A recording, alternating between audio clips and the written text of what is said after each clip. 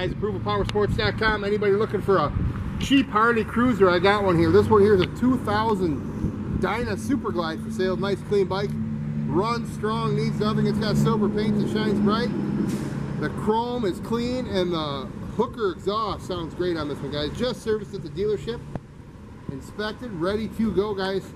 Only 34,000 miles on this 2000 uh, Dyna Super Glide and only $44.99. Give us a call. We'll get it done. It's 810 648 9500.